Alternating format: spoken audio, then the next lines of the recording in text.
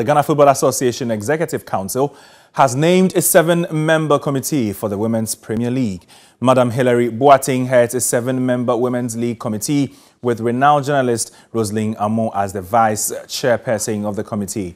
Meanwhile, the Women's League will kick off on the weekend of December 17, 2019. Also, media consultant Akwesi Agyeman has been named by the GFA as chairman of the Division 1 League Committee. Kenneth Thompson, the CEO of uh, Dalex Finance, will be the vice chairman. Each of the three Division 1 League zones will elect two representatives onto the committee.